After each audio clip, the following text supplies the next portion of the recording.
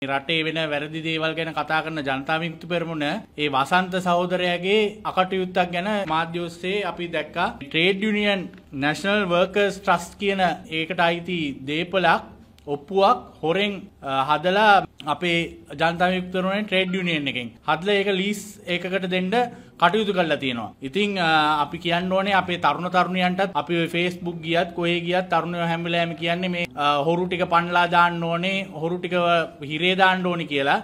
හැබැයි ඇත්ත හොරු ටික ඉන්නේ ජනතා විමුක්ති පෙරමුණේ. ඒ හොරු ටික කොච්චර හොරුද කියන්නේ දවසකට වැස්සකටවත් ඔෆිස් එකට ගියපු නැති වසන්ත සමරසිංහ සහෝදරයා මේ වගේ ලොකු කොම්පැනි වලට සද්ද දාලා කෑ ගහලා ඒගොල්ලන්ට වැඩ කරන්න දෙන්නේ නැතුව කප්පම් ගන්නවා. එහෙම තමයි ජනතා විමුක්ති පෙරමුණේ වසන්ත සහෝදරයා වැඩ කරන්නේ. තව විශේෂයෙන් කියන්න ඕනේ දැන් අනුරු කුමාර දිසානායක විශේෂයෙන් ප්‍රකාශ කරනවා ආවාම නීතිය ක්‍රියාත්මක කරනවා අරක කරනවා හිරේ දානවා ඕවා කරනවානේ. අපි කාරුණිකව ඉල්ලා සිටින්නේ මේ ඉන්වෙස්ටිගේෂන් එක ඉවර වෙනකල් පුළුවන් නම් චැලෙන්ජ් එකක් දෙන්න පුළුවන් නම් වසන්ත සමරසිංහ සහෝදරයාගේ පක්ෂ සමාජිකත්වය අත්හිටුවන්න. අත්හිටුවලා ඒ ඉන්වෙස්ටිගේෂන් එක ඉවරනකල් අත්හිටුවලා ඒක එයාගේ හරි හෝ වැරදි එන තීරණයෙන් ඒ පක්ෂ සමාජිකත්වය එක්කෝ නැති කරනවා නැති කරන්න එයා නිවැරදි නම් ඒක තියාගත්තට අපිට ප්‍රශ්නයක් නැහැ. හැබැයි ඒ වෙනකල් එයාව එයාගේ පක්ෂ සමාජිකත්වය අත්හිටුවන්න කියලා පුළුවන් නම් කරන්න කියලා අපි අනුර කුමාරට චැලෙන්ජ් එකක් දෙනවා.